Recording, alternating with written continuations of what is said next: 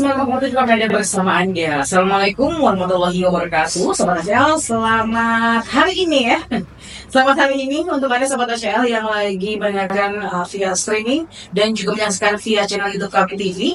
Kali ini di spesial program talk show Jaksa Menyapa bersama Kejaksaan Negeri Kabupaten Sukabumi. Dan seperti biasa di uh, ruangan yang uh, luar biasa ini kita akan berbincang bersama para jaksa. Kalau yang satu memang sudah jadi artisnya jaksa di Kejaksaan Negeri Kabupaten Sukabumi beliau. Iya. Tapi kita ada uh, sosok baru nih di tengah-tengah kita. Ada Bapak Jaksa Dekrit Digra S. Sarjana Hukum SSH. SSH. Selaku konsumsi pertimbangan hukum pada seksi perdata dan tata usaha negara Kejaksaan Kabupaten Sukabumi dan di samping uh, beliau juga ada Bapak Maulkan Balia Sarjana Hukum selaku konsumsi EK PPS pada seksi intelijen Kejaksaan Kabupaten Sukabumi. Dan tema kita kali ini adalah tupoksi jaksa dalam Kejaksaan Negeri Kabupaten Sukabumi. Sobat Asyal, dan uh, sebelum kita membahas lebih jauh ya terkait dengan tema kita kali ini, kita akan coba perkenalan dulu nih dengan Bapak Dekret ya Pak. Mohon izin Bapak untuk memperkenalkan ke wajah baru wajah baru bagi kami gitu ya karena mungkin masyarakat Kabupaten Sukabumi juga baru mendengar suaranya dan baru menyaksikan juga nih tayangan ini untuk perkenalan bahwa uh, Beliau adalah salah satu uh, jaksa yang ada di Kabupaten Sukabumi dan bertugas pada seksi perdata dan tata usaha negara. Ya. Boleh dikenal kenalkan dulu Pak? Ya, terima Apa kasih. saja sih sebenarnya tugas dan pokok fungsinya dari uh, konsumsi pertimbangan hukum pada seksi dapur ini di Ya, Kabupaten. Sukabumi? Nah, pertama-tama mungkin saya perkenalkan diri dulu. Nama saya Dekri Dirga Saputra. Mhm. Saya Kasubsi Pertimbangan Hukum Dasar Negeri Kabupaten Sukabumi. Jadi saya berdinas di Kejari Kabupaten Sukabumi ini sudah dari tahun 2020 di bulan eh, September. Oh, berarti udah lama ya? Sudah lama. Tapi kita baru jumpa. Hmm. Sudah sudah sudah empat tahun. Oh, udah empat tahun ya? Oke. Ya sudah. Sudah, sudah jalan empat tahun, hampir empat Oh, tahun. udah hatam kayaknya jalan sini ya. Saya Kasubsi Pertimbangan Hukum Kejaksaan Negeri Kabupaten Sukabumi. Jadi di Kejaksaan Negeri Kabupaten Sukabumi ini kejaksaan secara umumnya ada bidang gatul di situ. Bidang gatul dan saya kasubsi pertimbangan hukum di bidang gatul. Kasubsi pertimbangan hukum itu mempunyai tugas dan fungsi itu melaksanakan eh, pendampingan hukum eh, terhadap kegiatan-kegiatan yang dilakukan oleh pemerintah daerah.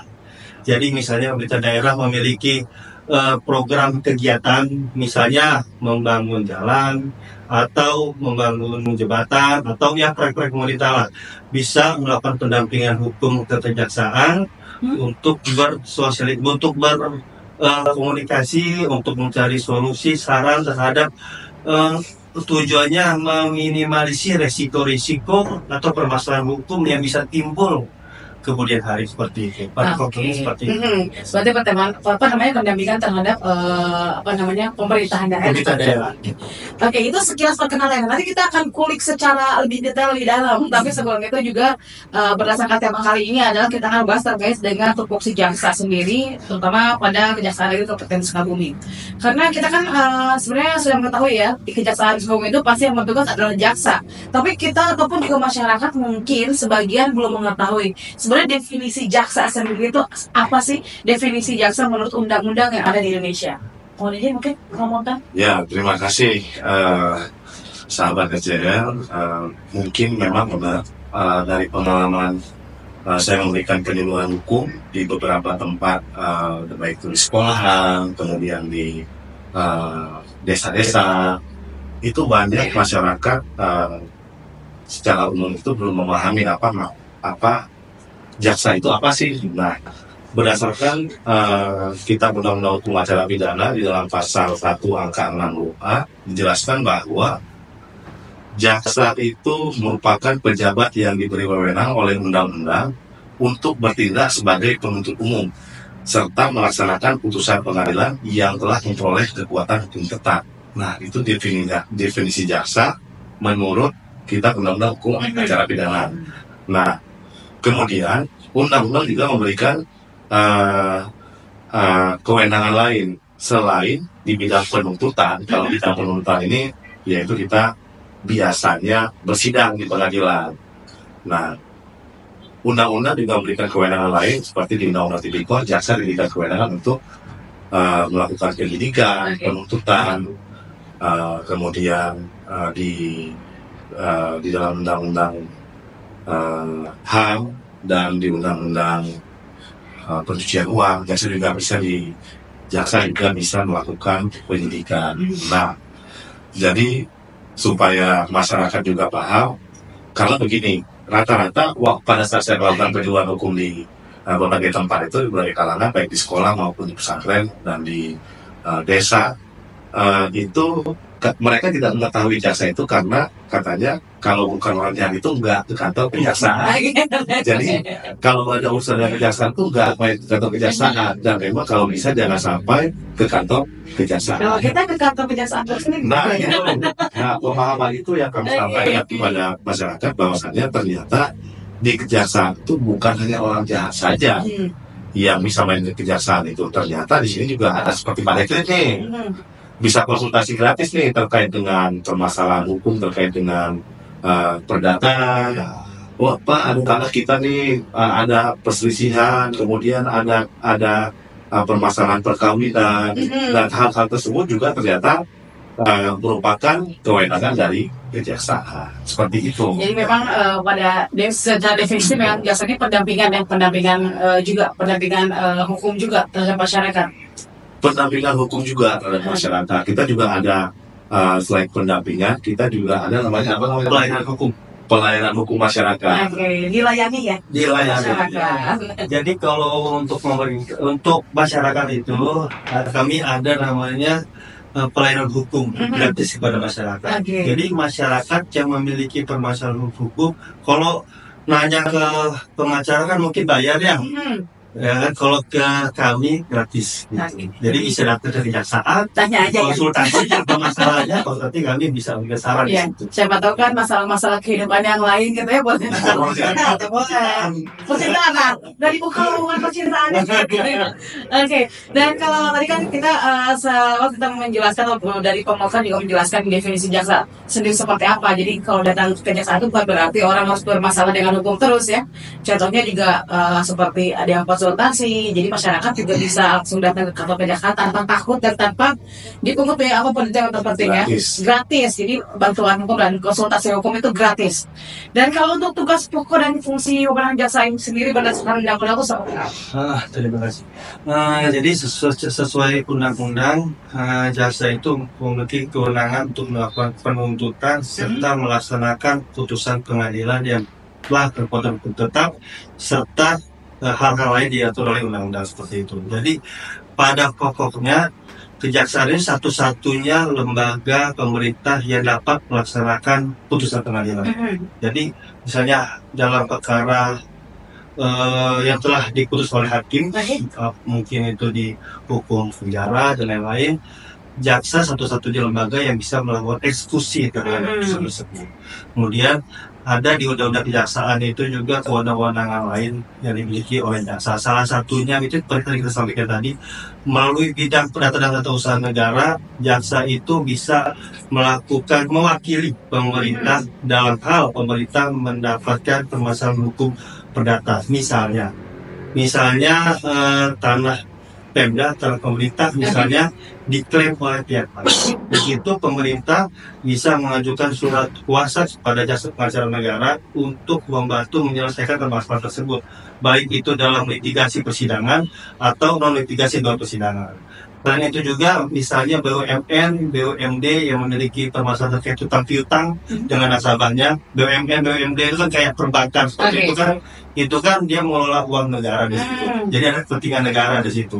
Karena itu ada kepentingan negara, jadi kejaksaan bisa masuk melalui bidang perdata dan tata usaha negara. Jadi teknisnya eh, bank-bank milik pemerintah tersebut bisa mengajukan permohonan bantuan hukum kepada jasa pengacara negara untuk membantu menyelesaikan permasalahan hukum yang terjadi antara eh, bank dengan nasabah seperti itu. Oke, jadi ada pendampingan juga ya, ada jembatan lah. Jembatan. Jembatan untuk menyelesaikan. intinya mewakili pemerintah baik itu pemerintah daerah, pemerintah pusat atau BUMN BUMD yang memiliki eh kepentingan pemerintah di situ. Oke, jadi ada eh, karena bidangnya dalam tata usaha negara, berarti ada eh, unsur pemerintahannya yang terlibat dalam sana.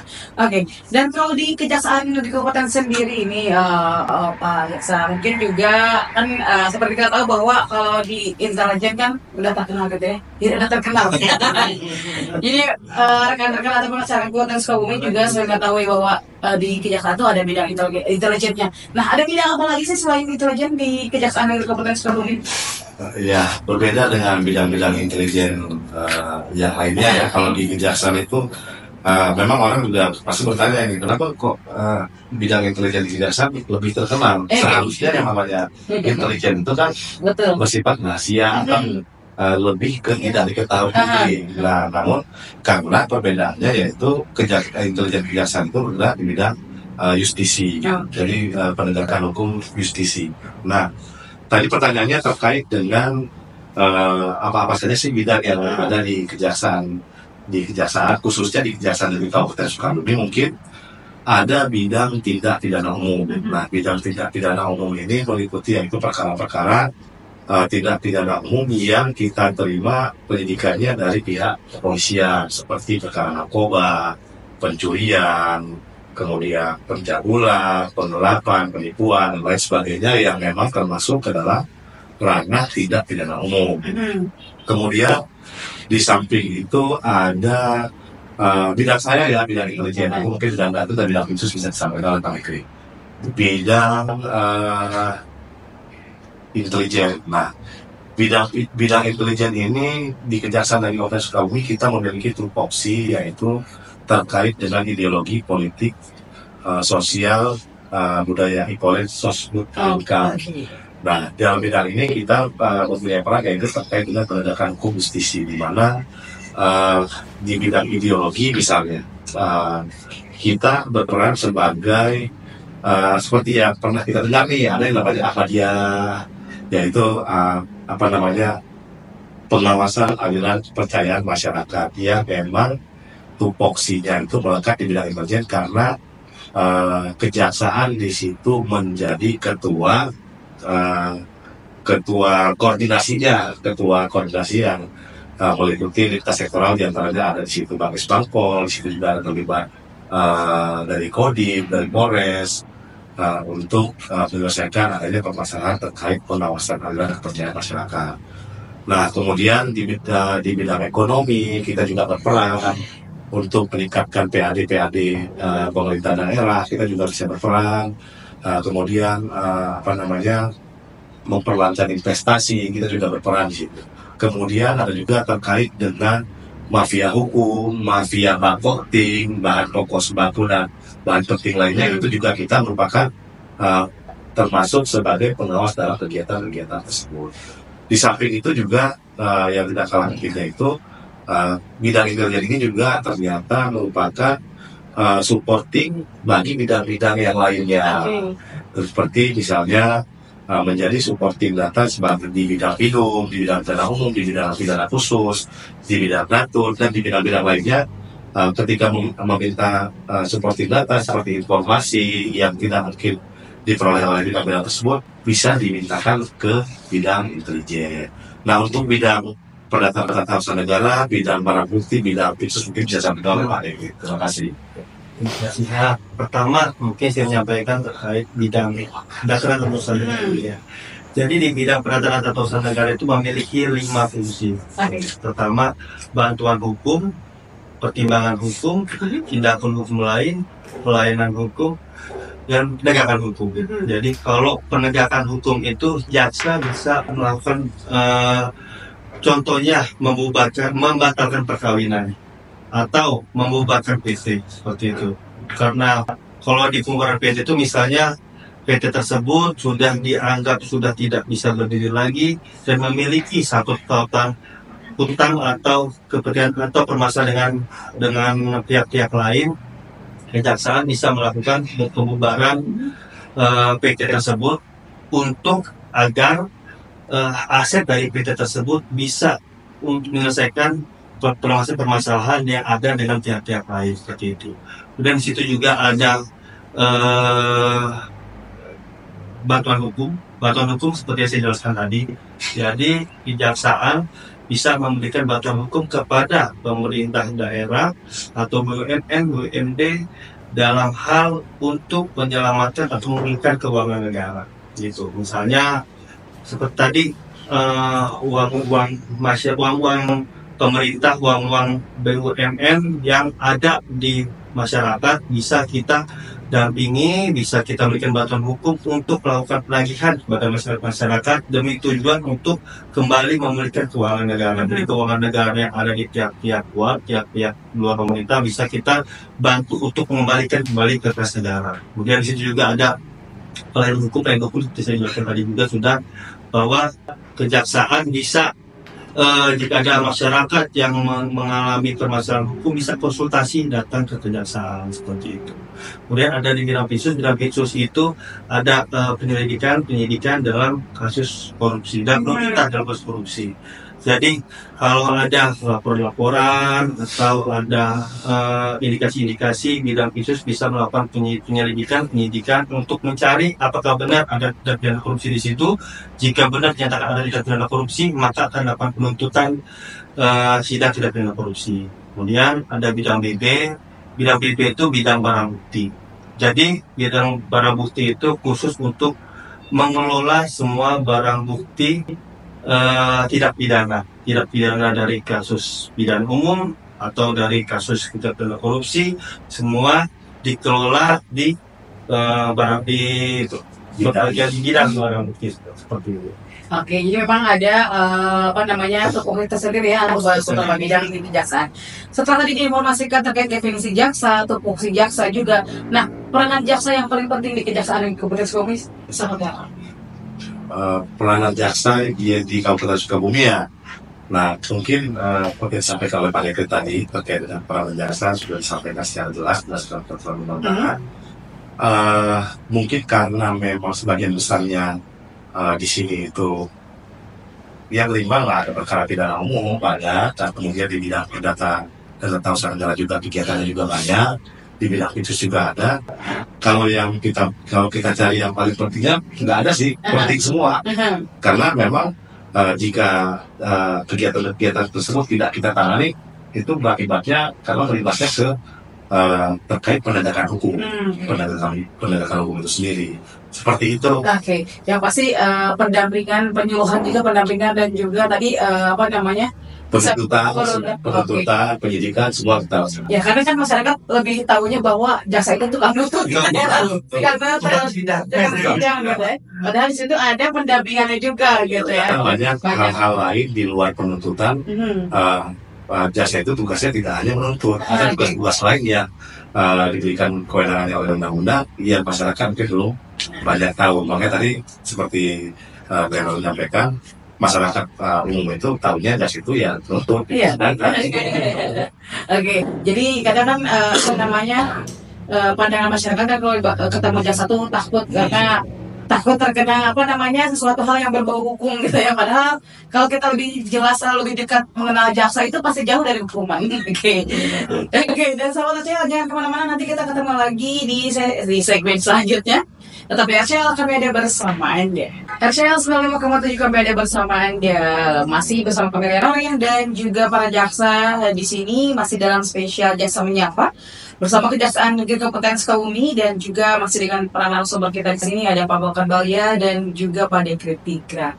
Dan kita tadi eh, sempat membahas terkait dengan jasa, tupoksi jasa seperti apa dan peranan jaksa sendiri seperti apa dan juga bidang apa saja sih yang ada di Kejaksaan Negeri Kabupaten Sukabumi. Ternyata banyak sekali bahwa kejaksaan itu tidak hanya berdas apa tidak hanya bertugas untuk menuntut ketika ada eh, persidangan akan tetapi juga banyak eh, tupoksi-tupoksi lain berdasarkan undang-undang. Nah, kalau untuk di Kabupaten Sukabumi sendiri nih eh, para jaksa nih, bagaimana sih para jaksa ini menyelesaikan kasus yang ada di Kabupaten Sukabumi? Apakah memang seperti kita lihat di media-media nasional ya, kejaksaan eh, menyelesaikan pemasangannya luar biasa, panjang dan lama gitu ya. Bagaimana untuk di Kabupaten Sukabumi? Nah, eh, ini tadi pertanyaannya terkait dengan penyelesaian kasus yang ada di Kabupaten Sukabumi. Nah, perlu kita sampaikan juga karena dengan luas wilayah yang begitu luas, Uh, dan kebetulan sumber daya manusia personil yang terbatas juga di Kejaksaan Negeri Sukabumi ini kasusnya cukup banyak Hmm. kasusnya cukup banyak Uh, kalau kita hitung melalui persentase itu dari 100% itu terkait dengan kejahatan itu di bidang tindak pidana umum itu narkoba masih mendominasi Oke. Ke- perkara narkoba mungkin bisa dipresentasikan di angka 40 kemudian disusul dengan perkara kejahatan pencurian eh, kemudian kejahatan terhadap eh, anak-anak terkait dengan pelecehan seksual masih terlalu tinggi di Kabupaten Sukabumi selebihnya walaupun eh, sepengetahuan saya yang menangani perkara di perkara tindak pidana di Kabupaten Sukabumi ini kasus-kasus yang kita tangani itu hampir semua jenis tindak pidana ada Hmm. mulai dari eh, apa namanya satwa liar, kemudian tindak pidana penjualan apa perdagangan orang, kemudian apa namanya dan masih banyak lainnya lah. Yang pada intinya hampir semua jenis perkara tindak pidana umum ada terdapat di eh, Kabupaten Sukabumi. Nah untuk terkait dengan penyelesaian perkaranya itu mungkin eh, kalau di bidang penuntutan itu eh, kita akan meneliti berkas perkara, kemudian melakukan persidangan. Mungkin yang paling ada sedikit kendala-kendala yang bisa kita hadapi di lapangan itu terkait menghadirkan saksi teknologi karena eh, jangkauan luas wilayahnya tadi itu yang luar biasa luas, kemudian pengadilan tempat kita bersidang itu di Pelabuhan Ratu Oke. Hmm. ternyata perkara yang kita tangani itu uh, saksi itu bukan perkara itu tidak hanya di Pelabuhan Ratu Uh, domisili saksi kemudian uh, kejadian perkara yang tidak pidana terjadi itu bukan di Pelabuhan Ratu ada yang di Cidolok ada yang di Sukaraja ada yang di uh, Sukalarang yang uh, posisi saksinya itu ternyata sangat jauh untuk mencapai ke tempat pengadilan mungkin di situ uh, apa namanya kesulitan kita menghadirkan saksi. Nah, namun dengan sinergitas kita dan kerjasama kita dengan pihak polisian uh, untuk uh, menyukseskan uh, perkara ini sampai dengan tahapan eksekusi, uh, mungkin kita bisa berkoordinasi untuk uh, upaya penjemputan uh, saksi Hmm. tadi itu. Mungkin itu ya uh, terkait dengan kasus pidana umum ya. Tapi Pak Dikri mungkin uh, ada yang menambahkan terkait dengan penyelesaian kasus yang Pak Dikri ini banyak sekali Iya. kasus pidana. Kasus kasus viral masalah. Eh. Kalau kasus viral terutama di pemerintahan daerah gitu ada gitu. Kalau kasus-kasus viral seperti Tipikor, kan? Tipikor kemarin kita menangani uh, kepala sekolah ya, kepala sekolah SMP. Mungkin pada saat sekarang ini itu sudah putus, Oh, udah keputusan ya. sudah putus, sudah putusan. uh, tapi kita belum koordinasi karena ini di bidang pidana khusus. Ah, Oke. Kemudian ada juga di bidang uh, korupsi di bidang aneka tambah Oke. PDAT, tapi uh, perkara itu baru diangkat sekarang, tapi terkait dengan PDAT itu tahun 2015, Oke, dalam apa ya? tahun, tahun yang lalu. Tapi di, diangkat oleh pembahasannya pada tahun ini. Iya, bang rilis juga gitu ya. Baru rilis. Mungkin kalau di, di pemerintah daerah seperti itu. Nah, mungkin ada seperti yang kasus viral apa yang pada kelakukan ini, biar dijelaskan nih. Karena di sini ternyata uh, kasus pelaku tindak pidana yang melibatkan anak-anak itu banyak. apalagi uh, uh, sesuai dengan himbauan yang disampaikan oleh Pak Kapolres terkait dengan uh, sekarang ini bulan Ramadan nih Hmm. banyak nih perang-perang sarung nih yang terjadi. Ah, betul, betul. Nah saya juga karena saya bukan berasal dari Kabupaten Sukabumi atau dari Provinsi Jawa Barat, saya pikir perang sarung itu hanya saling pukul sarung. Iya betul. Karena mungkin dulu gitu, dulu gitu ya. Dulu. Pukul sarung, sarung Pukul sarung. gitu. Jadi tidak pidana di mana? Nah, Ternyata seiring bergeraknya dan uh, adanya kemajuan zaman, sarungnya itu sudah dilapisi dengan kir-kir sepeda motor. Senjata-senjata tajam. Jadi ketika kemarin itu ada pihak polisi yang berkoordinasi, bang ini ada eh, masalah perang sarung di eh, kecamatan A di hmm. di desa A. Saya bilang kenapa harus dipidana? Ah, memang korbannya kenapa? Apakah dia eh, terjadi apa kena sarung itu? Oh iya bang, ini sarungnya diisi batu bang.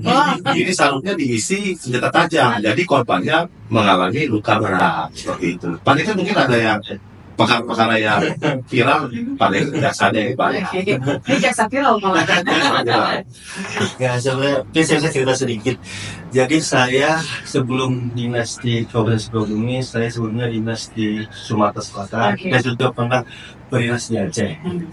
Terkait kasus-kasus di Sukabumi ini sebenarnya memang kasusnya sih bervariasi ya.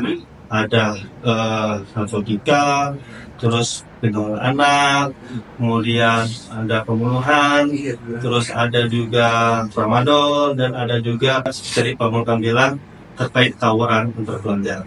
Tapi kasus-kasus lain itu seperti yang pembunuhan itu sih mungkin kalau bagi saya sih eh ya biasa lah. Tapi kalau yang tawuran atau pelajaran ini agak miris saya melihatnya. Kenapa? Karena saya lihat anak-anak ini kan masih di bawah umur, masih sekolah, tapi berani untuk melakukan kejahatan, kejahatan sih. Melakukan tawuran yang membawa senjata tajam. Dan senjata tajam itu bukan main-main itu. Ada pernah saya melihat kasus saya itu senjata tajamnya itu dimodifikasi namanya itu senjata eh pemusnah massal namanya. Senjata pemusnah Eh, massal. bukan. Senjata pencabut nyawa. Wah, Senjata senjata pencabut nyawa ya? Jadi bentuknya itu kalau kita pernah lihat di film-film yang devil-devil bawa senjata itu yang ada seperti sepanjang ah, itu kita dibawa. itu pencabut nyawa gitu ya. Itu senjata bilangnya senjata pencabut nyawa dan yang itu kan berat itu. Hmm. Jadi kalau sudah terayun kena ke badan itu itu kena berat. Dan itu tembus ke dada sampai terus ke belakang. Jadi jadi saya agak miris di situ kalau di Sukabumi ini banyak sekali kasus-kasus tawuran antar pelajar yang mengakibatkan meninggal dunia, Terus. meninggalkan menyebabkan eh, luka berat, menyebabkan anak-anak yang pelaku-pelaku ini kan sebenarnya masih mempunyai masa depan. Mhm. tapi karena ini jadi hilang masa depan seperti itu kan. Terus saya juga pernah ngobrol dengan teman-teman itu di dinas pendidikan. Kalau dulu katanya prodi-prodi beberapa tahun sebelumnya itu biasanya itu anak SMA Mhm. tapi sekarang malah banyak anak SMP yang Mhm. sudah mulai mulai tawuran-tawuran atau pelajar-pelajar SMP lah itu. Jadi eh, itu yang membuat saya miris di Kabupaten Sukabumi ini. Kenapa bisa eh tawuran-tawuran antar pelajar yang senjata tajam ini bisa sering terjadi di Kabupaten Sukabumi. Jadi setiap saya menangani perkara itu, ya hati saya agak terenyuh kayaknya karena kesian anak-anak yang masih kecil, lihat orang tuanya, tapi kan hukum harus tetap ditegakkan, hukum harus tetap berjalan, mereka melakukan kesalahan, mereka harus dihukum. Tapi ya mudah-mudahan ke depannya ada kebijakan-kebijakan dari eh, para stakeholder yang bisa mungkin terkait senjata tajam ini kok bisa mudah gitu. Kok bisa sudah didapat gitu ya di Anak-anak ini jadi mungkin bisa ada pengawasan lebih ketat lah terhadap senjata tajam ini seperti itu. Oke, berarti melihat dari eh, hal tersebut, berarti kondisi kejahatan yang ada di Kabupaten Sukabumi sekarang levelnya seperti apa nih? Apalagi eh, di bulan Ramadan kan seperti ada yang viral perang semua yang diisi batu atau senjata tajam. Berarti kondisinya sekarang sudah sedikit agak kejahatannya agak sedikit meningkat. Eh, iya, seperti saya bilang tadi itu kalau kasus-kasus seperti kalau eh, di sini yang paling banyak itu sebenarnya tramadol, peredaran tramadol. Oh, peredaran obat-obatan ya. Oke, dan mudah-mudahan juga ke depan kejahatan-kejahatan seperti yang tadi disebutkan juga bisa apa apa namanya bisa lebih apa lebih sedikit dikurangi mungkin lebih ke perhatian lingkungan ya lingkungan Ya. sekitar mungkin apalagi kan kayak kejahatan eh, narkoba atau obat-obatan terlarang kan menyerangnya tuh lebih ke anak-anak muda Ya. gitu ya apalagi anak sekolah. Oke, Pak Mulkan dan juga Pak Dekin sebelum kita mengakhiri kebersamaan kita mungkin ada eh, pesan dan harapan apalagi bentar lagi menjelang ke satu bulan ke depan kita akan menjaga Idul Fitri ini. Mungkin ada pesan dan juga harapan dari para jaksa sendiri, terutama untuk masyarakat di Kabupaten Sukabumi. Iya, terima kasih. Jadi eh, mungkin saat lagi kita akan menghadapi ya Idul Fitri. Hmm. Biasanya kalau Idul Fitri itu kan eh, budaya kita ini mudik biasanya, mudik ke kampung halaman. Jadi kalau teman-teman yang mudik berpergian ke daerahnya, tolong diperhatikan eh, rumahnya jangan sampai eh, karena sering terjadi itu tidak pidana pencurian Oke, saat saat menjelang menjelang Idul Fitri Hmm. seperti itu mungkin memanfaatkan rumahnya kosong banyak orang-orang yang eh, berniat jelek memanfaatkan hal tersebut jadi tolong diperhatikan hal tersebut dijaga eh, lingkungannya dijaga rumahnya jangan sampai menyebabkan eh, kesempatan untuk orang melakukan kejahatan Oke. Sekali dari Bapak. Ya, kalau dari saya karena nanti itu akan menjelang mudik ya, Hmm.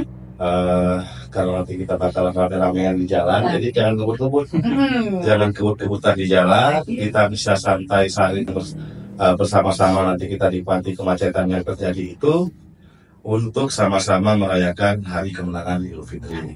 Nah, kemudian ada sedikit statement, eh, closing statement dari saya, dari kami. Pada intinya, eh, kenali hukum, jauhi hukum. Oke, luar biasa. Terima kasih Pak Mulkan, eh, Balai Sarjana Hukum selaku konstruksi KPPS pada sesi intelijen dan juga pada Tigra Sarjana Hukum selaku konstruksi pertimbangan hukum pada sesi perdata dan tata usaha negara. Terima kasih persamaannya di kesempatan Jaksa Menyapa hari ini dan ketemu lagi nanti kita di season selanjutnya pada program spesial Jaksa Menyapa bersama Kejaksaan Negeri Kabupaten Sukabumi. Saya Kamera Norin dan yang bertugas mengucapkan terima kasih. Assalamualaikum warahmatullahi wabarakatuh.